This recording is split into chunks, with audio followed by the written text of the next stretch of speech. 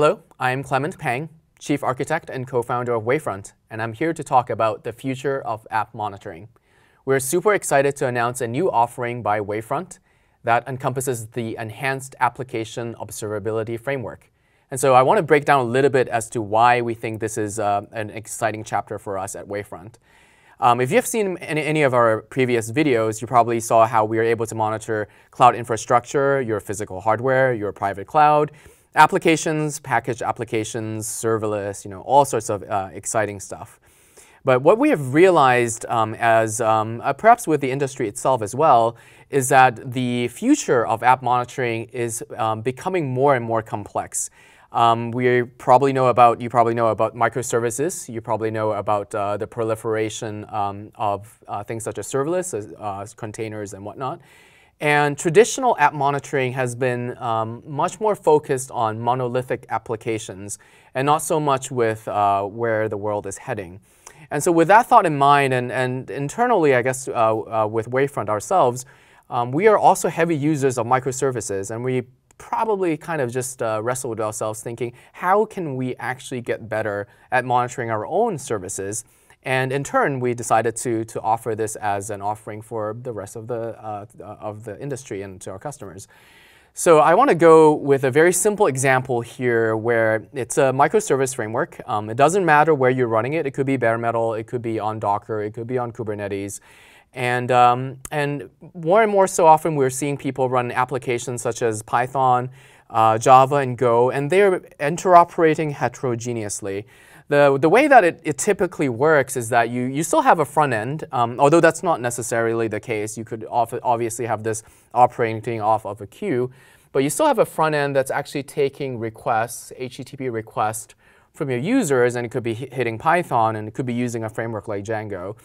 And then you're having that service, you know, maybe do some uh, general processing, you know, validations and whatnot. And you may be calling another service, in this case, let's say it's Go, and you know, with, uh, with different systems, you could pick different uh, transport systems.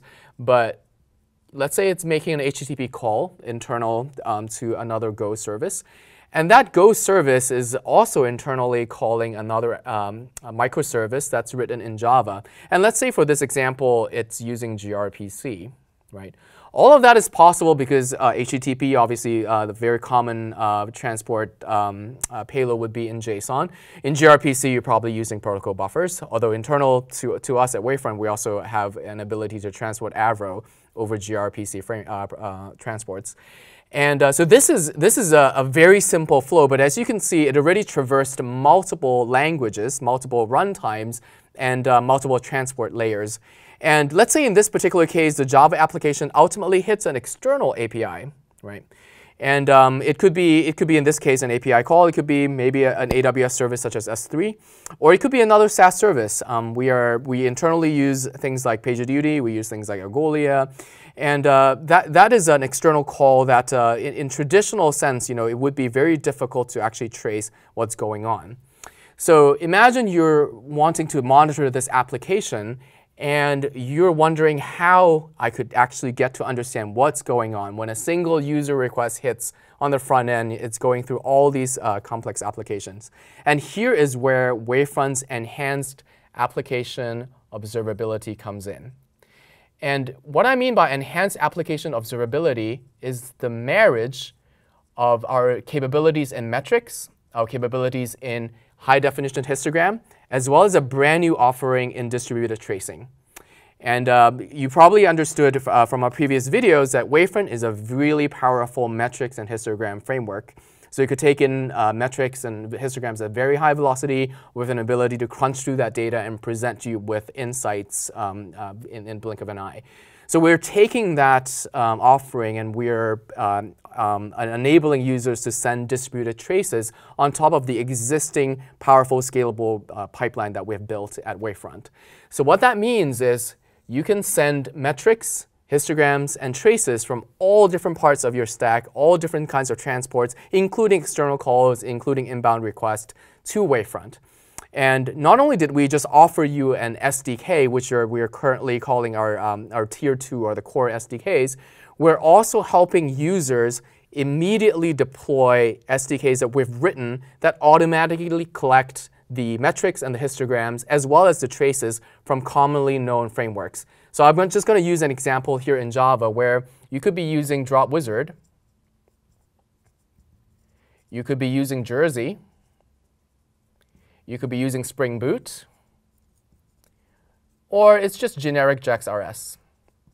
So these are very common microservice uh, components that you'd be using to build your application. And what we offer is an SDK that you put into your own code. So we're not doing any kind of bytecode instrumentation, and I'll probably get to a little bit as to why we didn't decide to do that. And put in the SDK, put in about 10 lines of code, and without doing any additional work, just recompiling your application and deploying that, you immediately get metrics that are related to request uh, rates, uh, error rates, latencies, and whatnot, as well as very detailed response request payload sizes, latency times, and the ability to see traces.